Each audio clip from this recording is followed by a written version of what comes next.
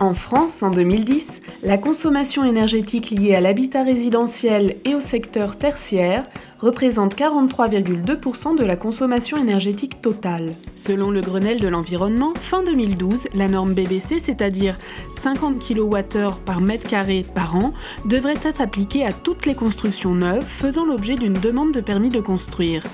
Une petite révolution est en route, notamment auprès des constructeurs. L'entreprise Burger, créée en 1847 à Sainte-Marie-aux-Mines et originairement spécialisée dans la boissellerie de métiers à tisser, a su faire évoluer son offre au fil des années. Après cinq ans euh, de travail sur la maison Saturbois sous forme structurelle et euh, très diversifiée en fonction de chaque demande, nous avons décidé de travailler sur une maison euh, toujours au Saturbois, mais qui allait être designée par nos soins. Au lieu de réinventer chaque fois la maison, on a décidé d'essayer de faire une gamme qui allait plaire à une catégorie de, personnes. Et cette gamme de maisons a été complètement étudiée évidemment pour répondre aux nouveaux critères énergétiques et avec aussi un souci évidemment euh, économique, hein, c'est-à-dire euh, d'essayer d'allier les nouvelles performances à un prix raisonnable. Pour ce faire, l'entreprise possède son propre bureau d'études qui travaille sur les éléments structurels en étroite collaboration avec l'usine. L'usine entièrement automatisée et informatisée, ce qui fait que les études informatiques sont transmises directement sur les machines de production.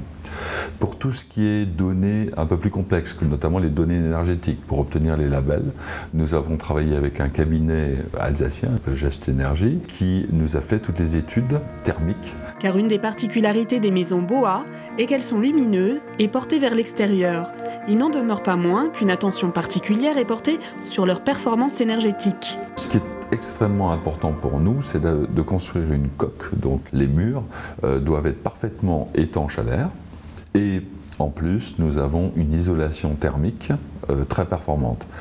Donc ces deux critères étaient euh, primordiaux par rapport aux exigences futures, d'autant plus que nous sommes dans des régions en Alsace plutôt froides.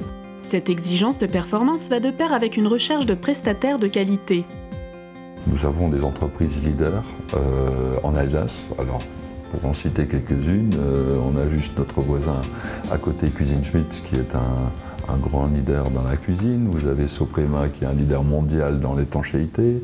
Euh, vous avez l'entreprise Aguerre, leader en, en électricité. Vous avez, enfin, ça nous a permis de travailler en partenariat avec des entreprises performantes. Niveau provenance de matières premières, le bois utilisé est principalement local et issu de forêts gérées. Le bois donc euh, d'ossature, c'est-à-dire ce qui constitue toute la charpente de la maison. Donc on parle bien sûr de charpente euh, toiture, mais on parle aussi de charpente dans les murs. Euh, ce sont des résineux, donc des sapins épicéas qui proviennent soit de nos forêts vosgiennes ou des bois de forêt noire, avec la particularité c'est que ces bois sont donc sciés séchés et euh, collés pour faire des, bois parfaitement stables, parfaitement secs. Et le bois, euh, contrairement à ce qu'il y a quelques années, a un, nouvel essor grâce à d'autres aspects. Ses aspects écologiques bien sûr, mais aussi euh, son aspect, on va dire, de chaleur, de cocooning en quelque sorte. Cette tendance cocooning vient des pays nordiques. Froid et peu ensoleillé, la population passe une grande partie du temps à l'intérieur. Les architectes et décorateurs y ont donc développé un style à la fois épuré et chaleureux. Un style qui aujourd'hui semble séduire également les Français. Donc le couloir qui est très, très clair, on a mis des placards euh, en verre. Nous avons emménagé mardi dernier et nous avons choisi cette maison euh, vraiment sur un coup de cœur. On avait visité la maison témoin à Bois-l'Abbesse, on cherchait une maison spacieuse, grande, lumineuse. On a eu la possibilité de construire à côté de l'entreprise de mon mari. Donc, euh, après avoir vu les différents modules des maisons bois à Bois-l'Abbesse, on a opté pour celui-ci. Une autre chose qui m'a beaucoup plu, c'est l'îlot central qui permet de, de circuler. C'est ouvert sur le salon, ouvert sur l'extérieur. Et c'est vrai que la cuisine nous a. On avait une toute petite cuisine avant et là on, on est vraiment bien quoi. Si le carnet de commandes s'étoffe considérablement, l'entreprise doit cependant faire face à certaines difficultés qu'elle n'avait pas prévues. Aujourd'hui, nous avons beaucoup de commandes qui sont bloquées. Euh, pour euh, des raisons, on va dire, administratives. Donc, vous avez encore dans, des, dans certains villages euh, forestiers euh, des endroits où vous ne pouvez pas mettre une maison avec un revêtement en bois. D'autant que contrairement à d'autres constructeurs, l'entreprise Burger s'est lancée dans une gamme entièrement contemporaine, en bois et toit plat. Toit qui ne semble pas convenir à certains élus. ce sont ce que j'appelle les intégristes du toit 45 degrés tuile rouge éventuellement la cigogne dessus. Il faut bien comprendre euh, qu'à l'époque, la toiture euh, à 45 degrés correspondait à une logique pour que la neige puisse bien s'écouler. Et à l'époque, il n'avait pas les membranes d'étanchéité qui nous constituent des étanchéités parfaitement garanties. Et vous aurez des sections de bois qui vont être calculées pour évidemment résister aux charges de neige maximum. Euh, aujourd'hui, une maison, par exemple, toit plein, sera plus rationnelle plus économique.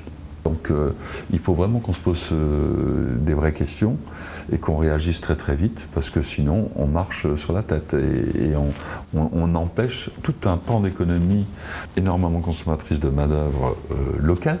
Donc on est quand même en période de chômage, donc on peut faire travailler les gens. On sait qu'on est en période de crise de logement, c'est-à-dire qu'on a besoin de logement. Avec le Grenelle de l'environnement, il y a eu une vraie volonté qui a été faite. Donc maintenant, il faut que ça descende dans tous les, dans tous les services et qu'on réagisse très très vite pour décoincer en quelque sorte euh, cette activité. En 2011, l'entreprise a investi 1 million d'euros en équipement, recherche, développement et création de prototypes. Nous investissons euh, cette année, donc en 2012, à peu près 1 million, mais plutôt sur la partie commerciale. Et nous espérons donc euh, avoir le retour à partir de 2013. Si les maisons BBC passives ou à énergie positive permettent d'économiser de l'énergie, il n'en demeure pas moins que certaines sont construites et isolées avec des matériaux ayant un fort impact carbone. Il existe pourtant des alternatives et des matériaux nobles, respectueux de l'homme et de l'environnement.